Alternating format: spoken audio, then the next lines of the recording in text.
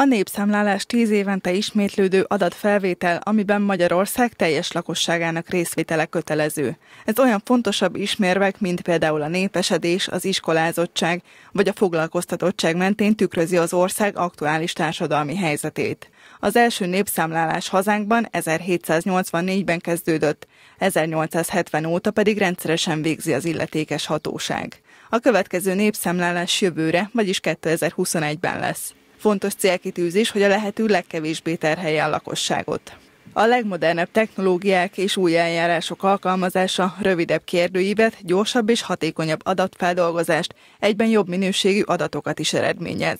Az új megoldásokat a gyakorlatban is ellenőrizni, finom hangolni kell, ami kizárólag egy nagy arányú próbafelvétellel lehetséges. Az ebben résztvevő címek kiválasztása matematikai statisztikai módszerrel történt. A részvétel önkéntes, de fontos, hiszen egy-egy kitöltő közel 350 háztartást képvisel. A kérdőív első része a lakóhelyel és egyéb címekkel kapcsolatban fogalmaz meg kérdéseket.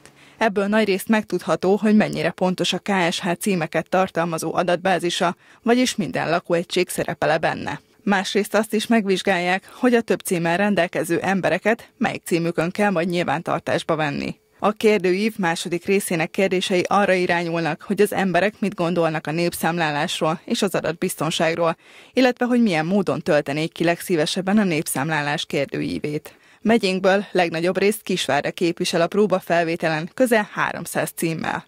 Nyíregyháza 250, Tákos több mint 200, Gyügyek közel 170 és Kótaj több mint 100 címmel vesz részt a próbán. A legutóbbi 2011-es népszámláláson Magyarország és Szlovákia kivételével minden EU tagországban kértek valamilyen személyazonosító adatot, nevet, tajszámot vagy adóazonosítót. 2021-ben viszont már Magyarország is csatlakozik ehhez a nemzetközi gyakorlathoz, így jövőre már kötelező lesz megadni a nevünket a népszámlálási kérdőíven.